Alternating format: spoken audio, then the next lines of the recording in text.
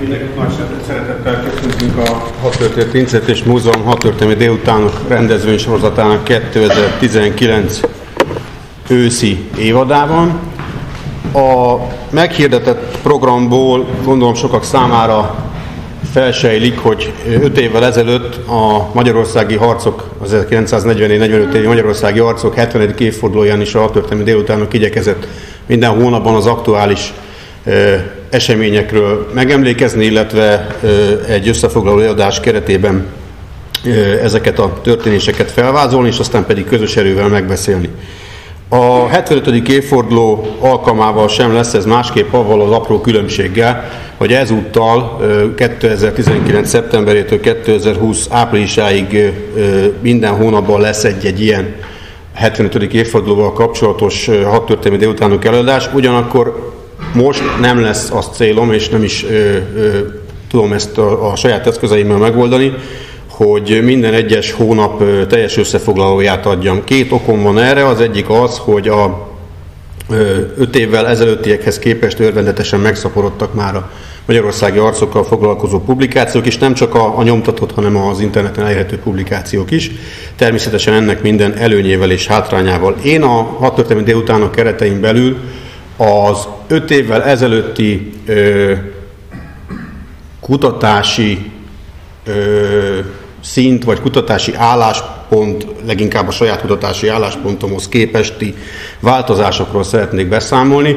Ezért minden egyes alkalommal olyan epizódokat választottam ki, amelyhez vagy az elmúlt időszakban sikerült újabb adatokat, illetve adalékokat találnom, vagy pedig bizonyos következtetések azóta a fejemben picit megváltoztak.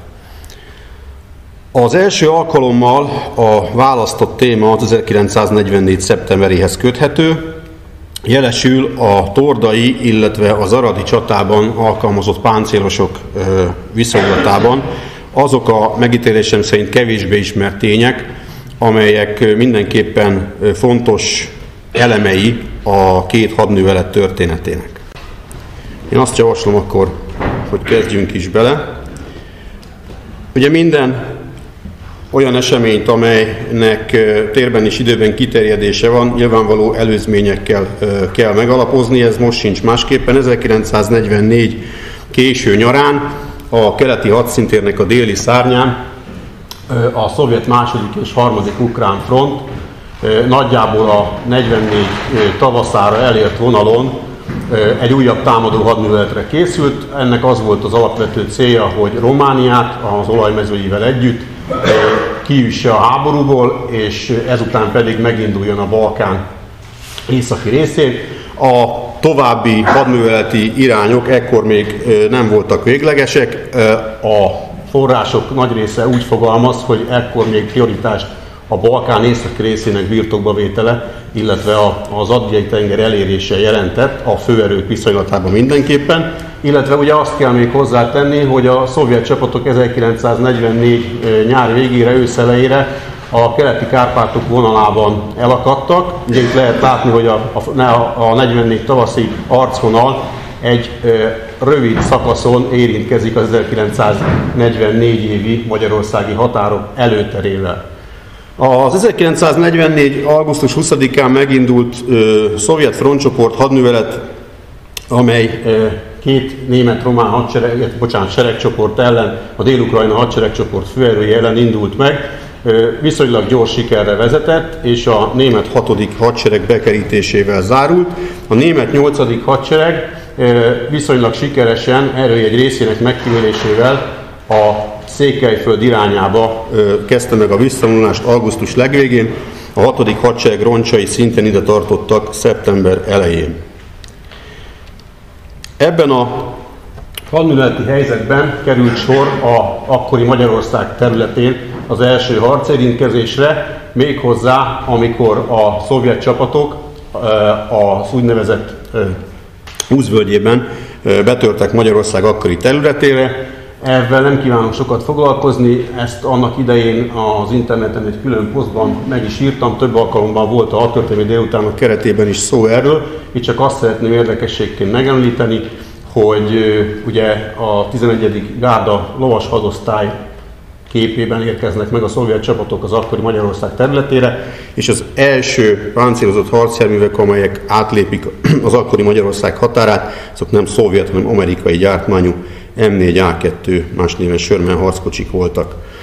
A romániai események természetesen mind a német, mind pedig a magyar katonai vezetés részéről is gyors cselekvést igényeltek. Ennek az lett a következménye, hogy magyar javaslatra Kolozsvár térségéből a frissen felállított erdélyi második honvéd hadsereg erői megpróbáltak egy olyan támadást végrehajtani Torda irányába, hogy később a déli Kárpátok hágóit, elsősorban a vörös szorost, illetve a vulkánszorost lezárják, még azelőtt, hogy a Románia területét birtokba vevő szovjet csapatok főerői Bukarest és Ploesti elfoglalása után északi irányba indulnának, és ezáltal veszélyeztetnék azt a hadműveleti elképzelést, amelyet a németek is osztottak, miszerint ezeknek a déli Kárpátokbeli hágóknak és szorosoknak a lezárásával sikerülhet tartósabb védelmet kiépíteni, és ezzel a szovjet csapatokat a Kárpát-medencétől távol tartani. A szeptember 5-i magyar támadásnak a súlyponti csoportosítása a második magyar páncélos hadosztály volt, amely ugye az 1944 ö, ö, ö, nyári úgynevezett galíciai hadműveletek után került Erdélybe, igazából jelentősebb feltöltést nem kapott, a meglévő állománya az tulajdonképpen már jelentős mértékben pótlásként kapott német harckocsikat mutat. Igazából ez is egy viszonylag ismert adatsor. Amire én felhívnám a figyelmet, az két dolog. Az egyik az az, hogy ez a meglévő állomány, ez nem a bevethető állomány, hanem a, ami állományban volt. Ennek körülbelül nagyjából úgy a 35-40 százaléka lehetett harcképes. Ami egészen biztosan harcképes volt, az a 29 Panzer 4-esből 20, amelyet újonnan kaptak a magyarok szeptember elején, illetve 5 darab Panther, amely korábban már Magyarország területén volt, hiszen ezeket átképzés céljából adták át a németek, azért, mert az volt a terv, hogy a magyar páncélos hadosztályokat is német mintára egy osztály Panzer 4-es, illetve egy osztály Pantherrel fogják felszerelni. Láthatunk a felsorolásban három Tiger nehéz harckocsit is, ez annak a tíz tiger, ennek a maradványa, amit a németek még 1944 késő tavaszán, kora nyarán adtak át a második páncélos hadosztálynak pótlásként, ebből 7 darab Galíciában maradt végleges veszteségként, hármat pedig a németek javításra átvettek, majd később szeptember első felében visszaadtak. Ezeknek a harckocsiknak a sorsára még később igyekszem röviden kitérni. Ezen a fényképen láthatjuk azt a terepet, amivel gyakorlatilag ezeknek a magyar harckocsiknak meg kellett küzdeni a szeptember 5-én indult támadás folyamán. A Moros vonalára kiérve azonban azt konstatálták, hogy a Bukarestet és Poesti körzetét elhagyó, akkor még nem csak 6. harckocsi hadsereg főerői, hát bizony a déli Kárpátok hágóit leküzdve észak irányba nyomulnak elő. Ezen a képen az 5. gárda harckocsi hadtestnek egy T-34-85 közepes harckocsiját láthatjuk Bukarestben. A hatodik harckocsi hadsereg észak irányba indult, és ezzel tulajdonképpen a szeptember 5-én kezdődő magyar-német támadásnak a kezdeti sikereit magával azzal, hogy megjelent a hadműveleti területen, és a magyarok által kitűzött hadműveleti célok, tehát a szorosokat leküzdve azokon keresztül előre nyomulva megjelent a Marostól délre. Ezzel tulajdonképpen a magyar-német támadásnak a közvetlen értelme megszűnt, és ezért szeptember 8-án arra döntésre jutott a Magyar Honvéd vezérkar, hogy ezeket az alakulatokat, tehát a Magyar Második Honvéd Hadsereg főerőit védelembe rendeli a Tordai híd fővédelmére. Ez volt az a terepszakasz, ami nagyobb erejű ellenséges csoportosítással szembe, különös tekintette a harckocsi és gépesített csapatok támadásával szembe a sikeres védelem esélyével kecsegtetett. Bocsánat, köszönöm. Ezzel párhuzamosan a Romániában szétvert két német hadseregnek a roncsai, ahogy említettem, a Székelyföld, illetve Erdély irányába vonultak vissza. Itt a képen emlékeim szerint Marosvásárhelyen láthatunk egy német Stuk 3-as rohamleget, amelyet éppen ö, vontatnak. Itt pedig egy Jagdpanzer 38 Hetzer vadászpáncélost. Ezek a vadászpáncélosok játszották a egyik legfontosabb szerepet az erdélyi harcok idején és a, a tordai csatában is, méghozzá azért, mert négy olyan úgynevezett páncélvadász rohamlövegosztályt küldtek Erdélybe, egyenként 14-14 darab ilyen hetszerrel, amelyeknek az anyahadosztályait éppen az augusztusi hadműveletben a szovjetek megsemmisítették. Ezek feltöltése voltak Németországba, jöttek volna a saját alakulatokhoz, de időközben nem maradt saját alakulatuk, ezért ezeket megállították Székelyföldön, illetve Erdélyben, és a visszavonuló 6. hadsereg roncsai, illetve törzse ezekből szervezett mozgó páncélállító tartalékot, amire szintén hamarosan ki fogok térni. Amint láthatjuk, ezen a térképvázlaton a szovjet 6. harckocsi hadsereg előtt ö, alapvetően különböző román kiképző, illetve egyéb más ö, ponttartalékosok beívásával létrehozott alakulatok harcoltak a magyar, illetve a német csapatokkal, amelyek ugye szeptember 5-én nyitott támadás után ö, megálltak a Maros folyó vonalán. Itt felhívnám a figyelmet, hogy a románoknak is voltak ebben az összecsapásban páncélosai, az úgynevezett Nikulescu páncélos csoport, amely 12 darab páncérférrel és 12 darab Stuk 3-os rohamlöveggel rendelkezett, ezek is a tordai csatában részt vettek. A 6. harckocsi hadsereg a Marostól délre szeptember 11-én összevonta az erőit, és mint látható, nem maradt teljesen folyam, eseménytelen, nem maradt teljesen következmények nélkül az, hogy nagyon nehéz hegyi terepen erőltetett menetben kellett átkelniük a csapatoknak. Ugye az állományban lévő 460 harckocsiból mindösszesen 188 volt üzemképes, az összes többit vagy kis, vagy közepes, vagy pedig nagy javításon éppen szerelték. A páncélos technika összetétele is rendkívül érdekes, mint látható, a harckocsi hadsereg nem nélkülözte a nehéz harckocsikat, illetve a nehéz ö, önjáró lövegeket sem. Ugyanakkor az egyik hadtest a szinte teljes egészében amerikai, illetve angol száz gyártmányú harckocsikkal volt felszerelve. Ez volt az ötödik gépesített hadtest, amely éppen egy nappal később, szeptember 12-én kapja meg az új elnevezését, és 9. gárda gépesített hadtest lesz belőle. Bocsánat.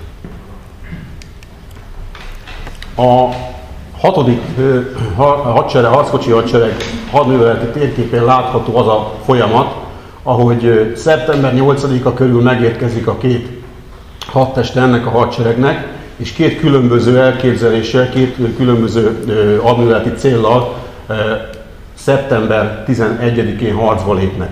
Nagyon érdekes, hogy a főirányban, azaz a hadseregnek a bal szárnyán az immár 9. gárda gépesített hadtest néven ö, működő magasabb egység támad, ami azt jelenti, hogy a tordai irányba nem T-34, tehát nem szovjet gyártmányú harckocsik indulnak meg, hanem angol száz gyártmányúak. Azzal a kiegészítéssel, hogy az 5. gárda harckocsi hadtest egyik dandárát, ami T-34 85-ösökkel van felszerelve, azt 11-én és 12-én a 9. gárda gépesített hadtestnek rendelik alá. A, ez az arcvonal az, amelyen szeptember 8-án védelembe mentek át a magyar, illetve a német csapatok. És a következő, egy először a 9. gárda gépesített hadtestnek a, a, a harcképességéről néhány szót. Hát látható, hogy a szovjet gépesített hadtestek esetében ekkor érvényes állománytábla alapján, amely ö, ugye 195 harckocsit írna elő, és ehhez még körülbelül 42 darab önjáró löveget. Hát ugye ennek a töredékével rendelkezik ez a hadtest, ennek két oka van. Az egyik az, hogy viszonylag jelentős veszteségeket szenvedett a Jasi Kisinyavi hadművelet, illetve a, a Bukarest irányába való előretörés folyamán. Másrészt pedig a szeptember legelei déli Kárpátokon való átkelés műszaki szempontból rendkívül módon megviselte a hadtestet, nem csak ezt, hanem a testvér hadtestét, az 5. gárda harckocsi hadtestet is. Tehát summa summarum 62 páncélos áll rendelkezésre a hadtestben, és ebből tulajdonképpen a előre vetett posztagot, vagy az elő, a, a súlyponti csoportosítást, amely Torda irányba megindul szeptember 12-én, az tulajdonképpen ez a három dandár, összesen nagyjából 46 ö, harckocsival. Mint utaltam rá, ezek a hadtestek ö, angol százgyártmányú harckocsikkal, itt például MD A2, még a rövid 75 mm-es löveggel felszerelt változat. A kép is ugyanezt mutatja a román területen. Ennek a hadtestnek a, az átvonuló erőit láthatjuk. Illetve a szovjet hadrendben MK9-esként jellemzett egyébként Valentine névre hallgató tulajdonképpen gyalogsági támogató harckocsi, amit azonban a szovjetek valamilyen oknál fogva a gépesített dandárok harckocsi ezredeiben is használtak. Ez a 9. gárda gépesített hadtestnek a hadműveleti vázlata, itt láthatjuk Tordát, és itt van tulajdonképpen a Tordai csata kezdetét ábrázoló három mozzanat, amikor szeptember 13-án, ez moszkvai idő, tehát 11 óra, ebből Erdély viszonylatában egy órát le kell vennünk, tehát nagyjából 10 óra tájban a három gépesített dandár, megerősítve a 233. harckocsi dandáról, ami ugye a 6 harckocsi dandára volt, megindulnak Torda irányába. Ebben a sávban, tehát a 45. gépesített dandár előtt a magyar 7. gyalogtábori póthadosztály, illetve a 9. gyalogtábori póthadosztály részei védtek, és a sorsfintora miatt gyakorlatilag a számukra kiosztott páncélöklök, azok nem voltak élesre szerelhetőek, tehát gyakorlatilag a kézi páncélomból eszközeik jelentős részét nem tudták használni. A páncéltörő ágyúik egy részét kilőtték a szovjetek, így a csapatok jelentős része pánikszerűen visszavonult az Aranyos folyó irányába, illetve a Tordai hídfő felé. Ami nagyon érdekes ebben a történetben, hogy a, a, ugye ez aznap készült vázlat, a ö, 14 felderítési eredmények, itt már a német 13. páncélos hadosztályt is jelzik két magyar alakulat mellett. Az egyiket sikerült eltalálniuk, a 7. tábori póthadosztályt a szovjet felderítőknek, a másikat nem, olyan, hogy 26. honvéd gyaloghadosztály olyan nem volt.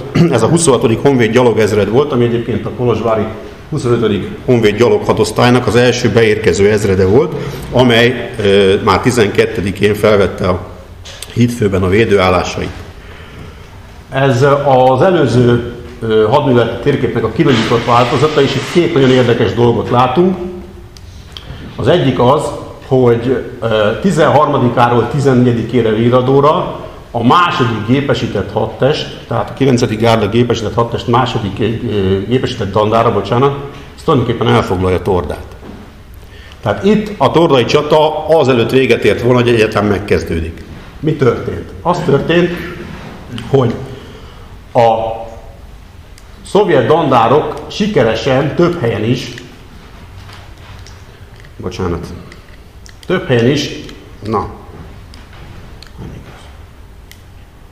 több helyen is átkeltek az Aranyos folyón, és az erősebbik csoportosításuk délnyugati irányból betört e, Tordára, és tulajdonképpen e, utcai harcok kezdődtek Tordán. A helyzetet részben magyar, részben német csapatok mentették meg. Magyar részről a 25. Honvéd rohamtüzér osztálynak az első ütegéből Vértes Vilmos százados parancsnoksága alatt 7,5 cm-es gépvontatású páncéltörő ágyukkal felszerelt ütegről van szó, és ennek a rohamtüzér osztálynak már e, sajnos a magyar hadipar nem tudott e, rohamlöveket e, adni. Vértes Vilmos százados vezetésével 13-án és 14-én ez az üteg igen jelentősen kivette a részét abból, hogy a szovjet támadást lefékezték és megteremtették a lehetőségét Torda visszafoglalásának.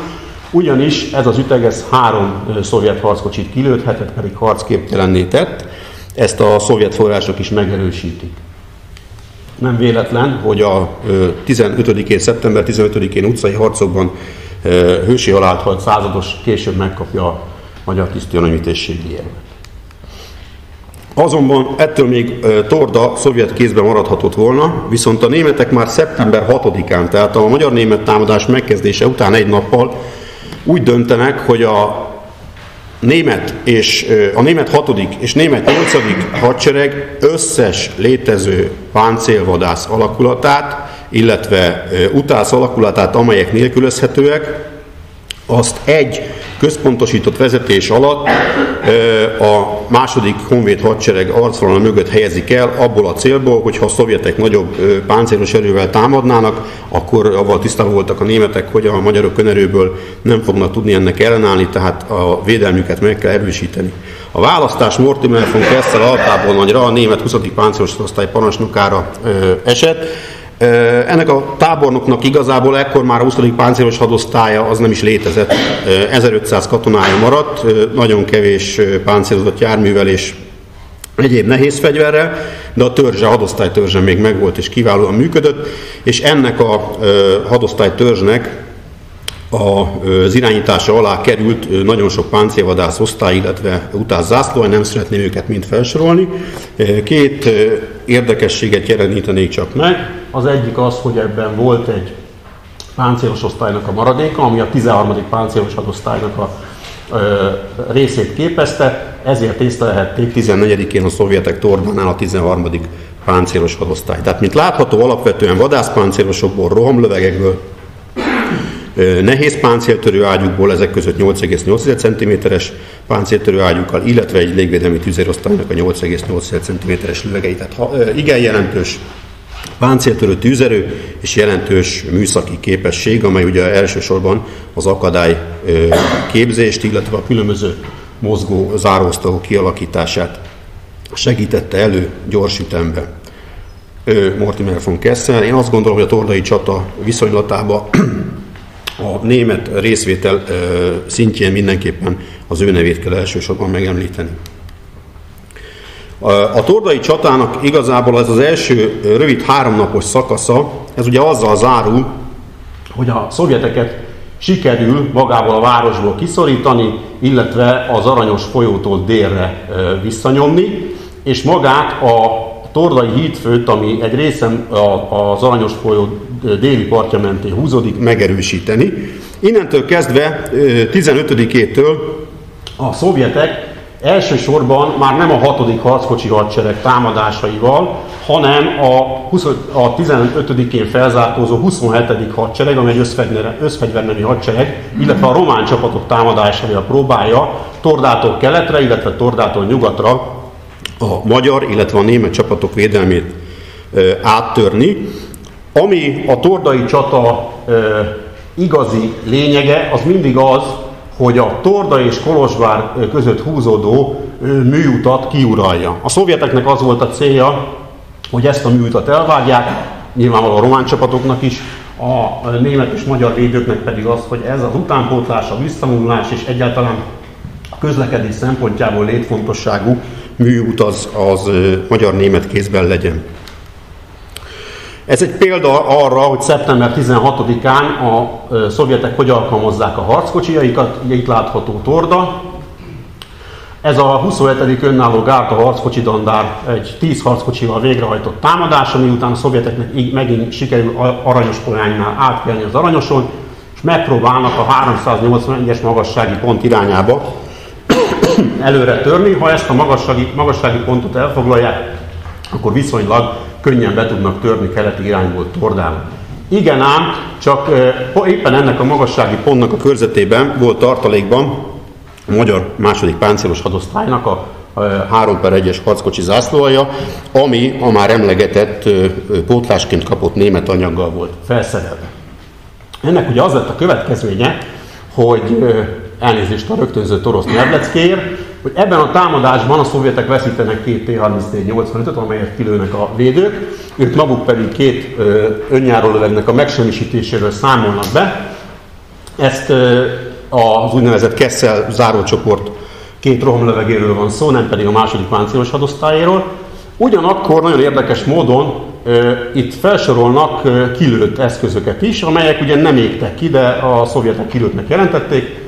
Ebből kettő T5-ös, ugyan Pántert jelent, egy T4-es, ami Panzerfirt jelent, és ami nagyon érdekes, és nekem megragadta a fantáziámat az, hogy egy darab T6-os, tehát Tiger harckocsit is jelentenek a szovjetek. Na most én nem szeretnék senkinek semmit sugalni, de túl sok az egybeesés, tehát a, a magyar második páncélos hadosztálynál bizonyíthatóan vannak Tiger harckocsik, a 381-es magaslat környékén volt az a zászlóaj ezen a napon, amely ezeket a tigereket elméletileg üzemeltethette, és a szovjetek éppen ennek a magassági pontnak a körzetében vívott harcban jelentenek kilőre egy tigeret. Az összes többit a hallgatóság fantáziájára bízom. Ez egy nagyon érdekes kép, talán van, aki már látta, van, aki még nem. Nagyon úgy tűnik, hogy ez az egyetlen létező fotó egy magyar panterről Erdélyben, ugyanis ez nem 1944. szeptemberi, hanem október elejé történet, amikor a, az úgynevezett Vaskapu nevű magaslatnál egy magyar pánternek a kormányműve tönkre megy, és tulajdonképpen mivel a második páncélos hadosztály négy darab pánterrel jön el október 8-a után az erdei hadszintérről, és vonul vissza a Tiszáig, így gyakorlat, ja, és ami a, még fontosabb, hogy német részről majd hamarosan szó lesz róla, egyetlen egy alakulat használt pántereket Erdélyben, amely az összeset, még a kilőttjeit is elhozta magával. Így gyakorlatilag kizárásos alapon, mivel senki másnak nem volt ott pántere, ez a fotó egy magyar pántert ábrázol, azt a bizonyos pántert, amelyet a második páncélos osztály Erdélyben elveszített. A 27. önálló gárda harckocsi dandár miután Tordától keletre ugye kudarcot vallott a tordára való betörés kérdésében, még 16-án átcsoportosítják, és 17-én Színd, illetve Koppánd irányába kellett támadnia. Ugye itt van az a bizonyos sokat emlegetett főútvonal, amelyet a szovjetek minden áron szerettek volna elfoglalni. Itt már az a különbség, hogy ezeket a harckocsi erőket, ezeket már nem a szeptember 12-13-án tapasztalható önálló hadműveleti feladattal alkalmazzák, hanem általában a szovjet lövész, illetve a román gyalog csapatoknak a közvetlen támogatására. Ami nagyon érdekes, azt láthatjuk, hogy itt is a Kessel zárócsoportnak a vadászpáncélosai, illetve rohamlövegei, valamint a nehéz páncéltörő ágyai adják a, a német-magyar védelemnek a gerincét.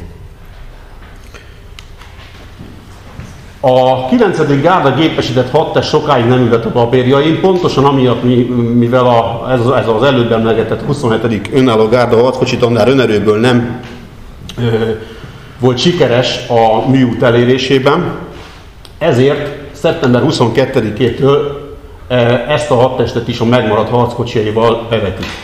Nagyon érdekes, hogy aki figyelt, az láthatta, hogy szeptember 17-től Tordától délnyugatra ott van az 5. gárda harckocsi hadtest, amely tulajdonképpen műszaki szempontból harcképtelen.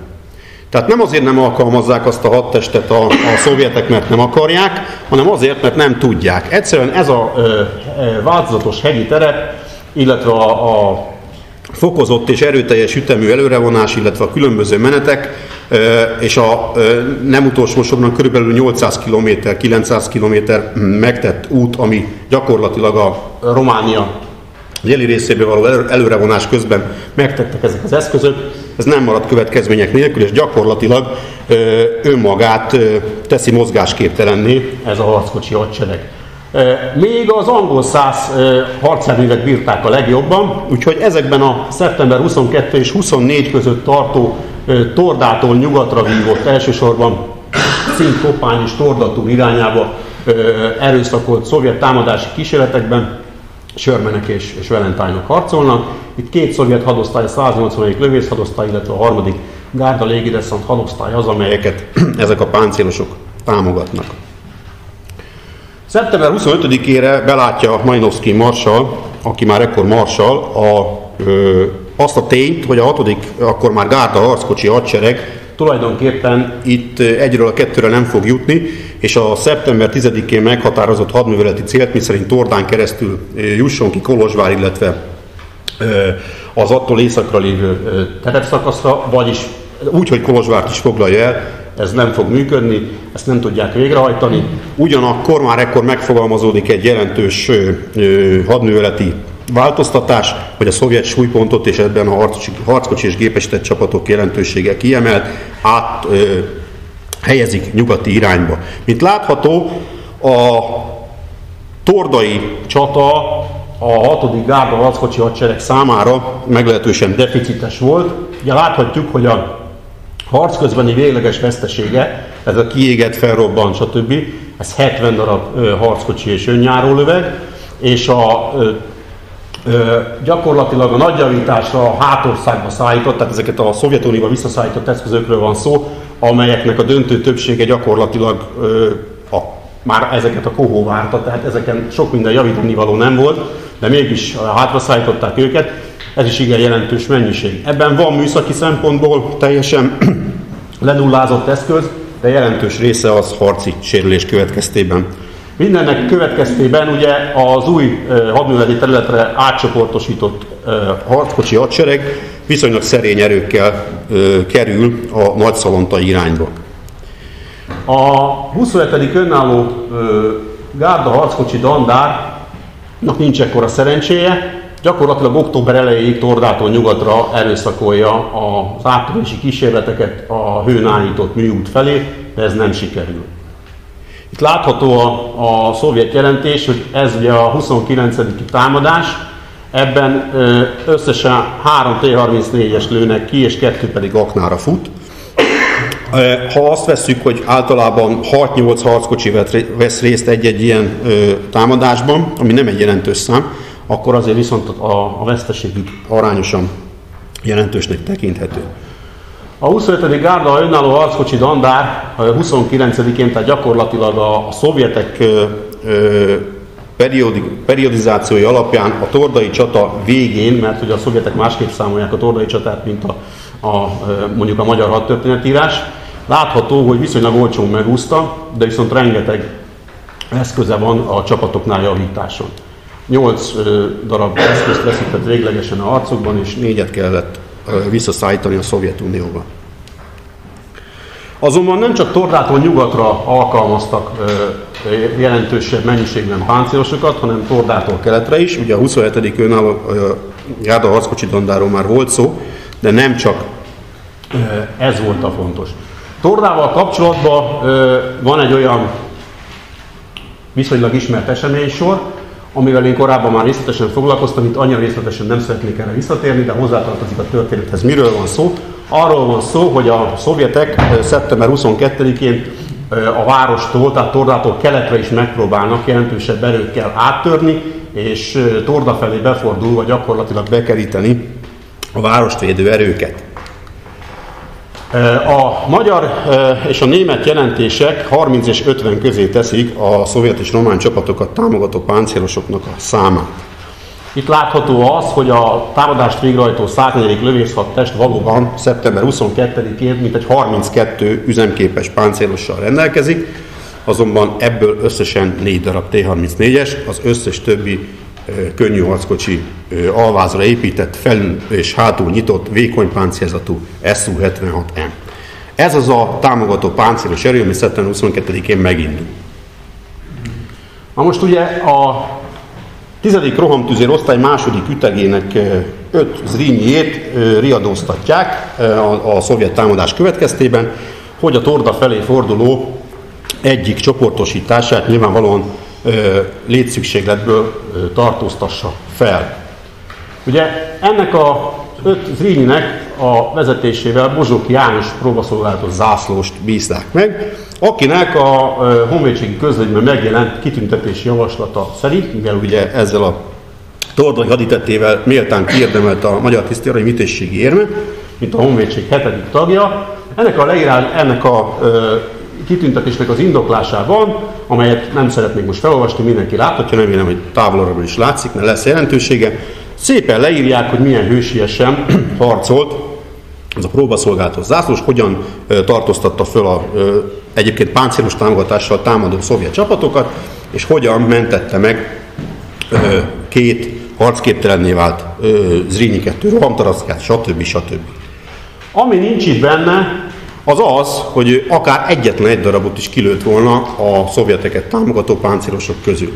A háború után viszont elterjedt az a nézet, vagy az a, az a megállapítás, hogy Bozsóki János próbaszolgálatos zászlós az rinjeivel 18 darab T-34-es lőtt volna ki. Na most ezzel, ezzel a dologgal alapvetően kettő probléma van. Az egyik az, hogy ennek semmi nyoma, a másik, hogy igazából T-34-esek se voltak ott abban a mennyiségben, hogy ezt a próbaszolgálatos zászlós legjobb szándékai ellenére is kilőhesse. Tehát én azt gondolom, ahogy erre többször már utaltam különböző publikációkban, ezt a dolgot azt hiszem, hogy el kell felejtenünk, ez a legendák körébe tartozik, nem ö, Bozsóki hősiessége, hiszen a, magát a kitüntetést méltán kiérdemelte, de egyetlen egy darab T-34-es nem jött ki. Ugye őróla van szó. Tehát ő már a második olyan ö, magyar katona, egész pontosan tiszt, aki a legmagasabb hadikitüntetést érdemelte ki a tordai csatában páncélosokkal kapcsolatos haditettér.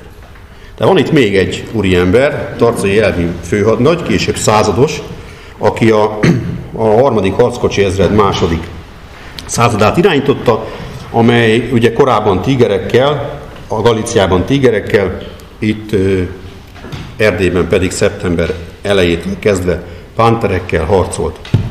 Ő az egyébként, aki például szeptember 16-án a már ábrázolt 27.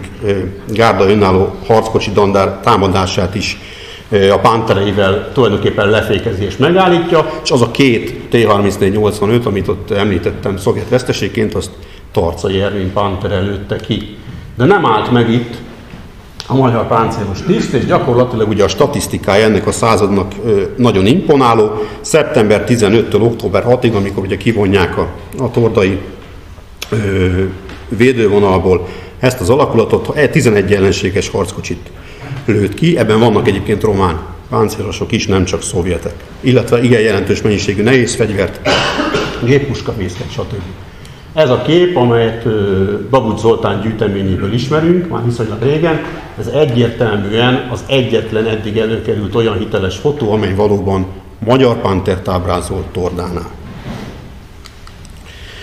A német segítségnyújtás a tordai csatában nem csak a Kessel zárócsoport jelenlétében és harcában merül ki, hanem szeptember 19-től a magyar második páncélos hadosztály mögött gyülekezik a német 23. páncélos hadosztály, amely a körülményekhez képest, a keleti hadszintér akkori állapotaihoz képest egy viszonylag harcedzett és veterán hadosztálynak számít, és szeptember 23-án összesen 71 páncélossal avatkozik be a küzdelembe, 24-én pedig több mint 50 páncélossal. Ugye a két mennyiség közötti különbséget az adja, hogy bizony a hegyi terep, illetve a igen jelentős szovjet ellenállás 23-án jelentősebb páncélos veszteséget okoz a németeknek is.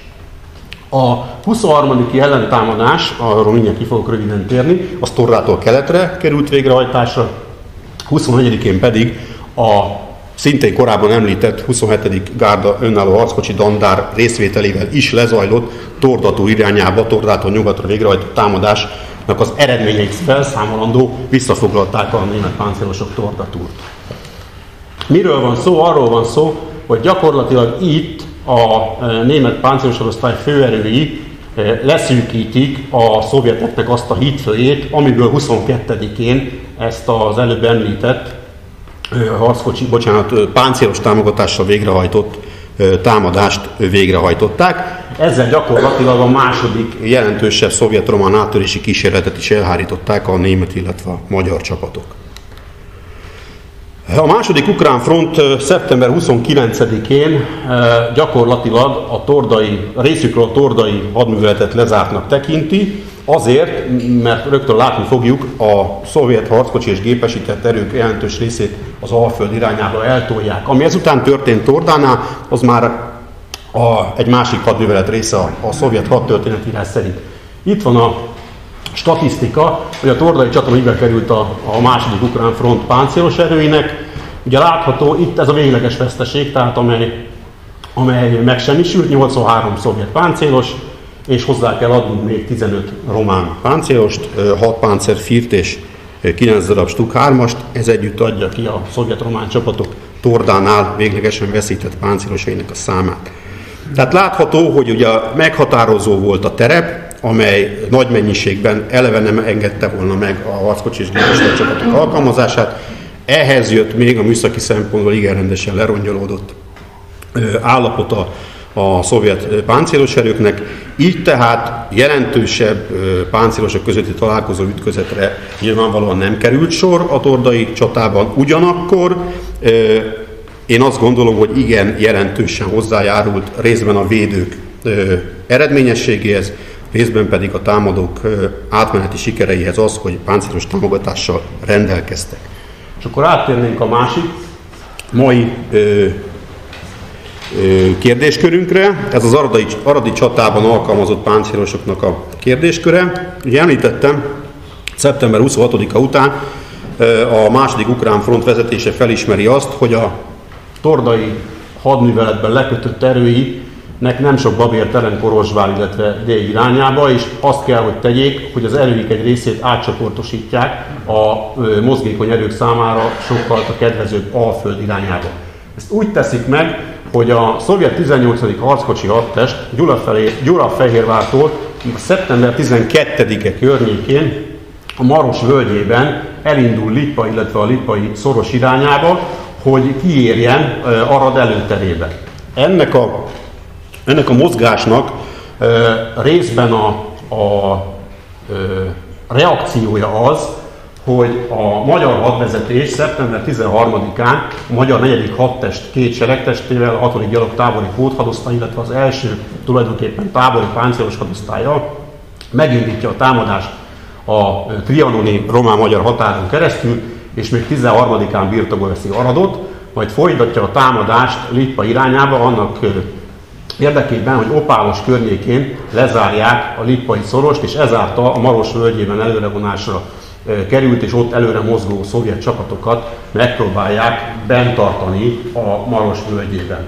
Ezzel párhuzamosan ugye a Tordánál gyakorlatilag csak vérző és tétlenségre kényszerített 6. gárda harckocsi hadsereget is folyamatosan elkezdik áttolni, és tulajdonképpen nagy szalonta környékére vonják előre, azzal a későbbi feladattal, hogy majd Nagyvárad irányába, szeptember végéig Nagyvárad irányába támadjon, és Nagyváradot még szeptember 29-ig foglalja el, hogy ebben mi lesz, mi nem lesz, azt majd esetleg a jövő hónapban tudjuk megbeszélni. Most maradjunk az aradi hadműveletnél. Szeptember 15-e táján a magyar csapatok még mindig heves harcokat vívnak Opálos környékén a román erőkkel, amelyek azonban már tudják azt, hogy beérkezőben van a szovjet 18. harckocsi hadtest. A aradáni támadást végrehajtó magyar első, ha úgy tetszik, tábori páncélos hadosztály az alábbi erőkkel rendelkezhetett. Ebben ezeknek az adatoknak a forrása részben a későbbi harmadik hadsereg parancsnokának Eszlényi Józsefnek a hagyatékában fennmaradt szeptember hadrend, részben pedig egy ott olvasható megjegyzés, miszerint a harckocsi ezred körülbelül 60 toldit és turánt fog kapni, elsősorban a rohamtüzér osztályok kiképző kocsiairól volt szó, amelyeket összevonnak. Én abból indulok ki, hogy ez az összevonás sikerült, így tehát nagyjából 140 páncélos lehetett az állományban, ez nem azt jelenti, hogy ennyi volt a, a bevethető.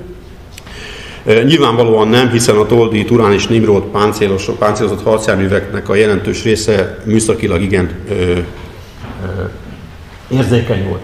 Maga a páncélos hadosztály e, igazából e, három harckocsi zászlóaj, egy gépkocsizó lövészzászlóaj és kettő gyalogló lövészzászlóajból állt. Ezt egészítette ki egy felderítő osztály, páncélgépágyú zászlóaj, egy gépfontatású tüzérosztály, illetve egy híradó zászlóaj, a főbb csapattestek tekintetében. Tehát sem egy szovjet harckocsi dandára mondjuk nem összevethető, sem pedig egy, bocsánat, egy harckocsi hadtesttel, sem pedig egy német páncélos hadosztályjal, még egy nagyon legyengült uh, szovjet harckocsi hadtesttel és egy nagyon legy- legyengült német páncélos hadosztályjal sem, és nem elsősorban a páncélosok száma miatt. A szeptember 20-ára beérkező, a Lipai-szoros keleti kiáratához beérkező 18. harckocsi hadtest szintén nincs ereje teljében, 94 üzemképes páncélosa van, ennek döntő többsége T-34-85, de van néhány, egy dandárban biztosan vannak még 76 mm-es változatú kocsik is, illetve a, a, ami érdekes, hogy ISU 122-es nehéz önjárólegeik is vannak, amivel szemben ugye a magyar Turán, illetve Toldi harckocsik már mindenképpen tehetetlenek, ha már esetleg a T-34-85-ösökkel valamilyen formában nagy szerencsével még csak-csak fel is tudják venni a harcot. A 18. harckocsi hadtestnek az a feladata, hogy miután itt a magyar 6. gyalog tábori hódhadosztálynak a védelmét áttöri két harckocsi dandárral, megindulnak Arad északi előterében azzal feladata, hogy az Aradról északi irányba vezető utakat elvágják, és gyakorlatilag az, az Arad felé közeledő saját, tehát román, illetve szovjet csapatoknak az oldalában ne engedjenek ö, magyar csapatokat. Itt, ebben a körzetben német csapatok, legalábbis a szárazföldön nem harcolnak. A támadásra szeptember 20-án a reggeli órákban kerül sor, amikor a harckocsi hadtest két dandára, a 110. harckocsi dandár és a 181. harckocsi dandár megerősítve. A 110. harckocsi dandárnál van a hadtestnek az egyik önjáró tüzérezrede és a páncéltörő tüzérezred egy része. A harckocsi, másik, a 181. harckocsi dandár pedig szintén páncéltörő tüzérütegekkel erősítik meg. De csak ez a két dandár lép harcba szeptember 20-án. A hadtestnek az 1694. hadrendi számot viselő légvédelmi tüzérezrede naplója nagyon érdekes dolgokra számol be szeptember 20-án. Ugye egyrészt arról számol be, hogy Újpanát térségébe előre települ, attól keletre egy kilométerre, és 11 repülőgép bevetést érzékel, amelyek Ju-87-es, illetve Messerschmitt 109-esek, illetve az ütegei nem nyitnak tüzet. Nem is nagyon tudnának, hiszen ennek a légvédelmi tüzérezrednek összesen 5 darab gépfontotású 37 mm-es légvédelmi gépájú és 10 darab 12,7 mm-es DSK nehézgéppuskája van. És mint említettem, ezek gépfontatások, illetve gépkocsi szállításúak, ezek nem tudják tartani sem a lépést, sem a terepet a szovjet harckocsikkal. Ezért ez a légvédelmi tüzérezet annak rendje és módja szerint szépen lemarad a támadó harckocsi dandárok harcrendjétől. Ennek az lesz a következménye, hogy a Zimánt közt elfoglaló harckocsi dandárok közül a 110. harckocsi dandár az tovább támad északnyugati irányba, Klára Majornál elakadnak, hogy miért erre hamarosan ki fogok térni. Viszont a, a német csatarepülőgépek beavatkoznak, és a szovjet, a harckocsi hadtest jelentéséből látszik, hogy szeptember 20-án 5 harckocsit veszít, 5 páncélost veszítenek, 3 harckocsit, két önjáróleget, és ezekből négyet a német repülőgépek gyújtanak föl. Ezen kívül még 10 gépkocsival is végeznek.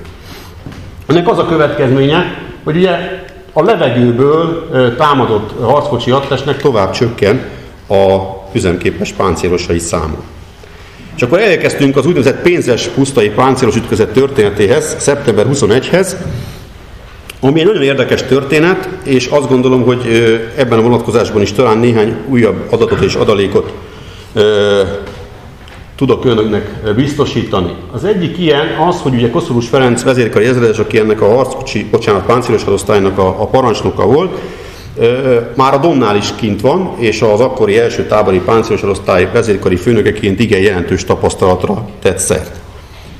Gyakorlatilag, amit 1942. júliusában a Don mentén az az első tábori páncélos hadosztály végrehajtott Uriv térségében, valami hasonlót képzelt el koszorús vezérkari ezredes akkor, amikor szeptember 20-án a ö, magyar ö, hadvezetés azt kéri tőle, a negyedik hadtest, aztán később ugye ebből alakul ki a harmadik hadsereg parancsnoksága, azt kéri tőle, hogy ezeket a áttört szovjet harckocsi erőket valamilyen úton módon állítsa meg, ugyanis az a magyar terv, hogy a trianoni román-magyar határa újabb erők érkeznek be, ez két újabb gyalog tábori póthadosztály, amelyek tulajdonképpen még felvonulóban vannak, és hogyha a szovjet harckocsik ezeket menetből legázolják, akkor igazából ott a védelem nagyon gyorsan összeomlik.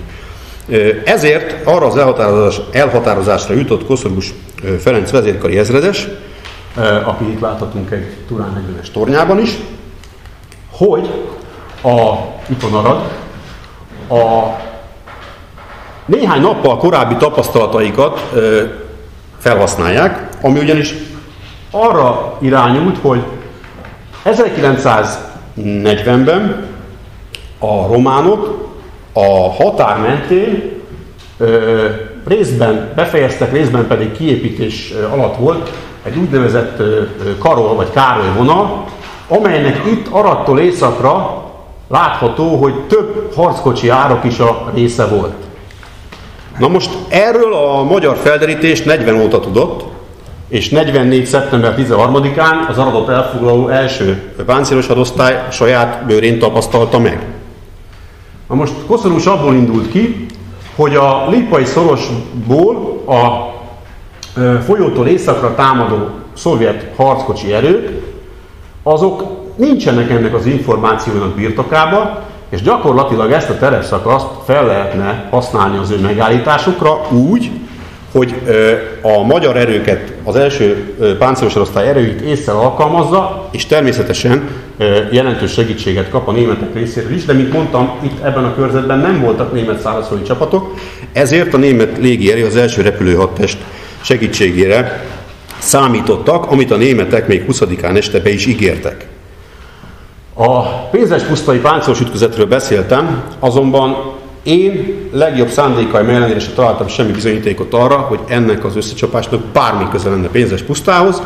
Pénzes puszta, az, hát itt a térképen rajta sincs, valamikor, nagyon régen, itt van nagyjából valahol itt van Boros Jenő, Boros Jenőnek a része volt, eh, de gyakorlatilag, ahol ez az összecsapás végül is szeptember 24-én lejátszódott, annak semmi köze pénzes pusztához. Ha már nagyon el szeretnénk keresztelni a dolgot, akkor ez Sofronya puszta, illetve Szentpál puszta körzete volt. Mi történik? Az történik, hogy szeptember 20-án estig, ugye itt van Zimánd köz, falu, itt van Arad, ez, ez, ez a kettő igen jelentős lesz majd az események szempontjából, ugyanis a szeptember 18-án felváltott első páncélos hadosztálynak a jelentős része az Zimány faluba települ, ide települnek egyébként a, a első harckocsi ezred jelentős erői is, illetve az első gépkocsizó lövészerednek az erői, és itt Vitéz Vastag György ezredes parancsnokság alatt létrehoznak egy harccsoportot, aminek része egy harckocsi zászlóai is. Na most, a szovjetek miután elfoglalták Zimán közt, ezt említettem szeptember 20-ával kapcsolatban, tovább mennek Klára Major környékére, ahol a, a német páncélvadász repülőgépek ugye megtámadták őket 20-án, és érzékenyebb veszteséget okoztak nekik. Koszorúsnak az a terve, hogy az első felderítő zászlóaj, amelynek a parancsnok a német Imre Alezredes, elébe megy a szovjeteknek, és gyakorlatilag maga, maga után húzva belekényszeríti őket abba a bizonyos ö, harckocsi árok kanyarba, bocsánat, amit, amit itt láthatunk.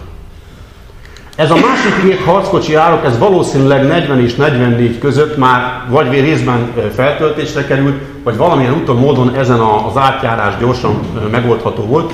Ezen a harckocsi árkon azonban koszorús visszaemlékezései szerint műszaki előkészítés nélkül nem lehetett átkelni. Most a szovjetek ezt nem tudták, és 21-én gyakorlatilag ezen a szakaszon teljes mértékben elakadtak. Miért akadtak el? Azért, mert bár 20-án, a 20-án 17 órától a Stuka támadást a magyarok kiegészítik azzal, hogy az első harckocsi ezred erői gyakorlatilag itt a Klára Major környékén fordul, össze-vissza forgó 110. harckocsi dandár hátba támadják, és hét szovjet harckocsit ki is tudnak lőni.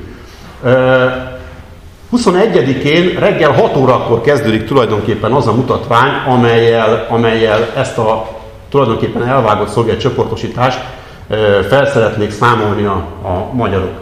Koszorús Zimánd újfalu és Zimánd köz között vezető út mentén a töltésen mozog előre azzal a német összekötő tisztel, amelyet az első repülő hadtestől küldtek arra azért, hogy a majdan bevetendő német csatarepülőgépek célra irányítását végrehajtsa.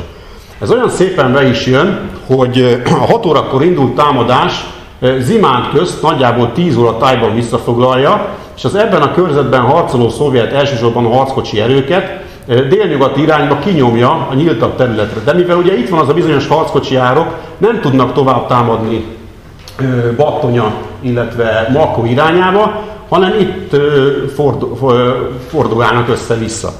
És ebben a lélektani pillanatban, ebben a helyzetben, amikor rendkívül bizonytalanok a szovjetek, akkor támadnak a német csatarepülőgépek.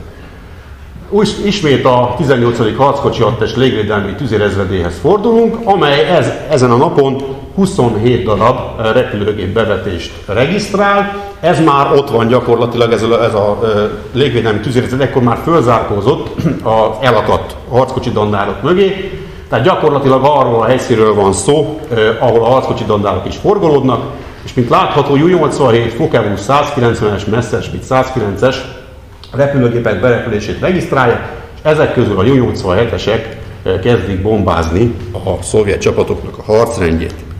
Miről is van szó? Arról van szó, hogy a német második csatarepülő ezrednek egy köteléke, egy megerősített csatarepülő osztály, Hans Ulrich Rudel akkor még alezredes parancsnokságával, aki szeptember elején veszi át magának az egész ezrednek a parancsnokságát, bevetésre kerülnek a ö, szovjet harckocsik ellen.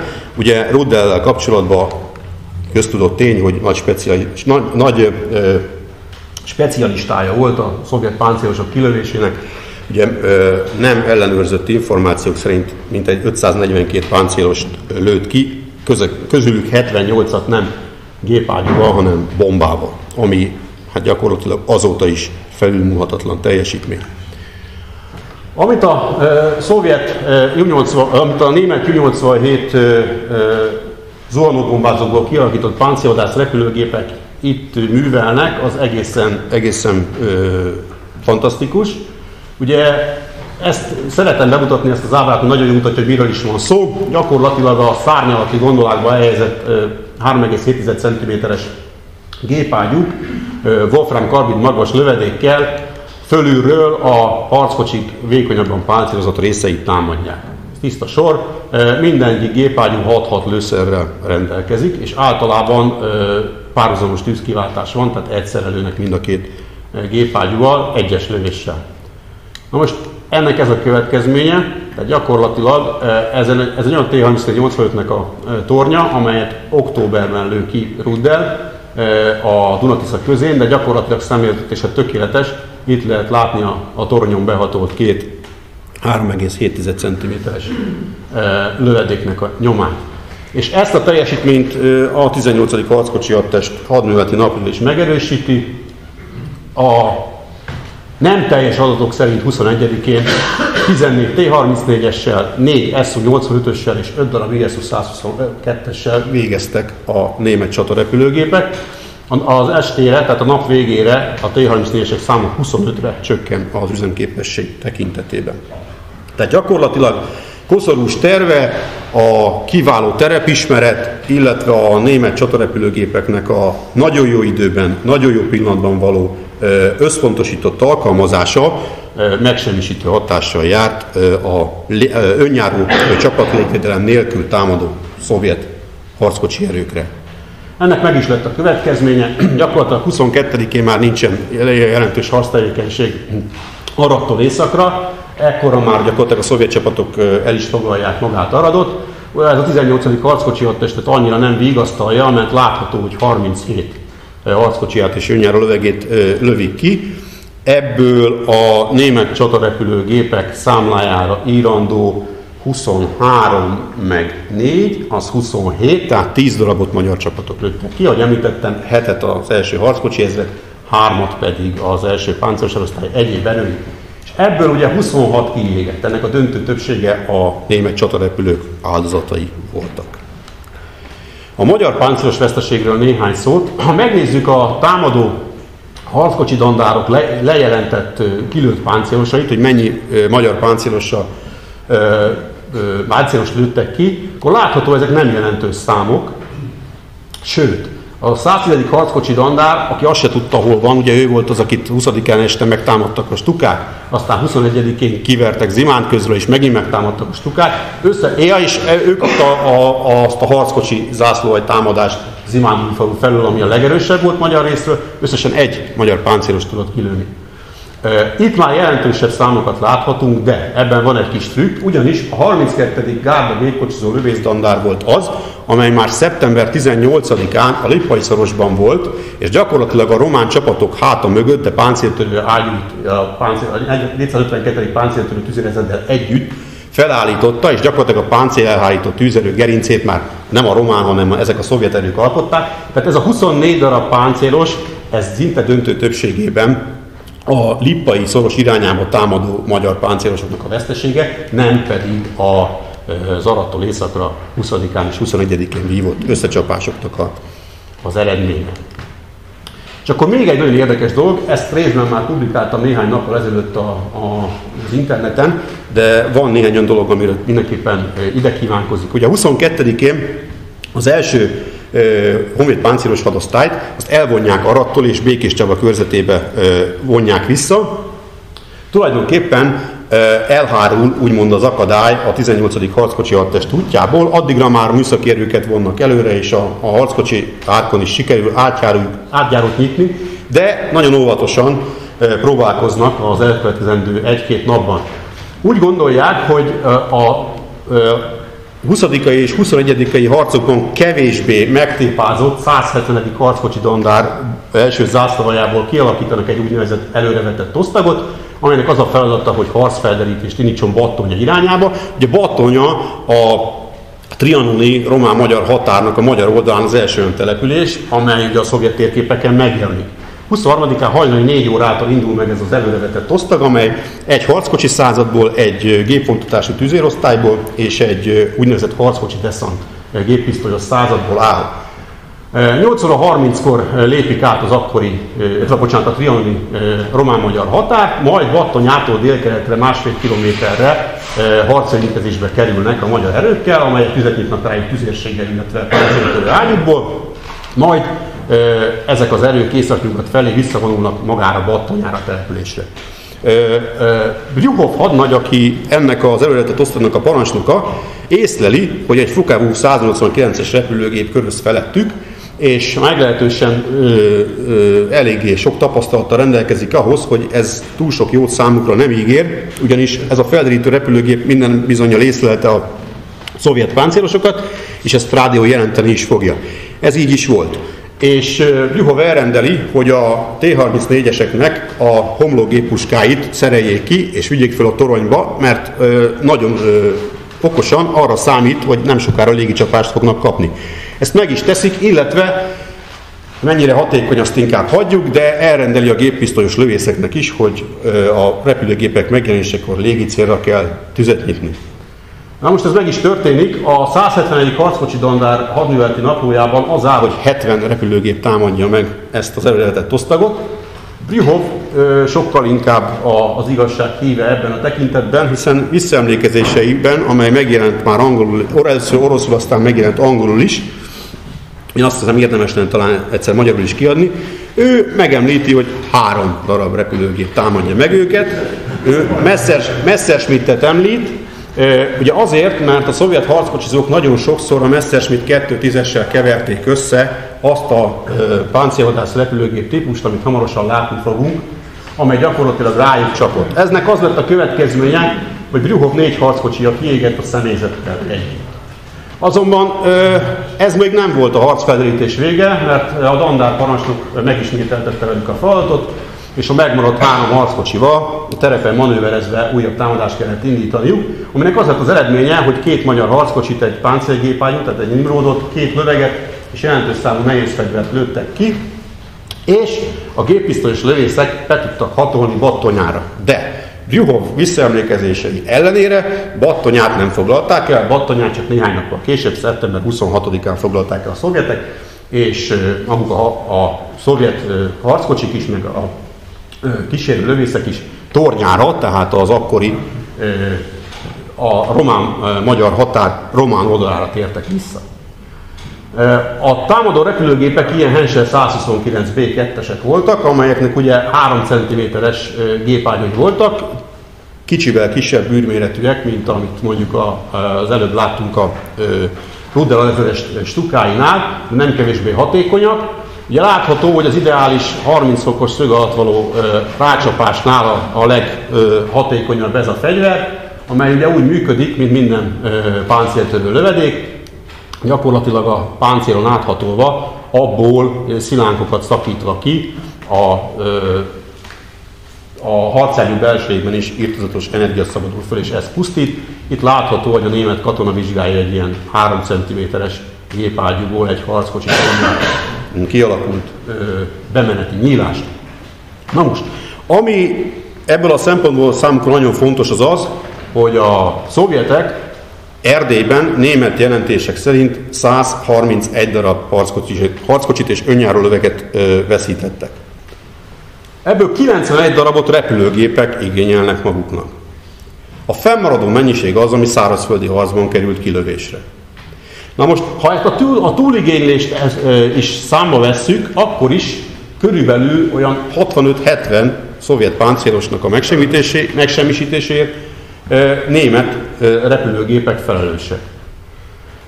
Ez azért fontos a mi történetünkben, mert a szovjet harckocsi és gépesített csapatok parancsnoka is ezt nagyon jól tudták, sőt a szovjet hadvezetés is tudta, és már szeptember elején szállítás alatt volt a megoldás, méghozzá az amerikaiaktól kapott 17-es féllánctalpas járműre szerelt négysérű légvédelmi nehézgéppuska.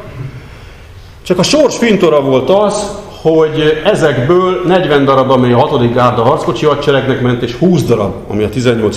harckocsi hadtestnek, ezek szeptember 25-én érkeznek meg Aradra, illetve Dévára, és két nappal később lehetett őket átvenni, tehát gyakorlatilag a szovjetek megtanulták az esély után köpönyeknek a saját módszerüket, miszerint légicsapás után M17-es, körülbelül ennyi a hiávalóság szinonimája.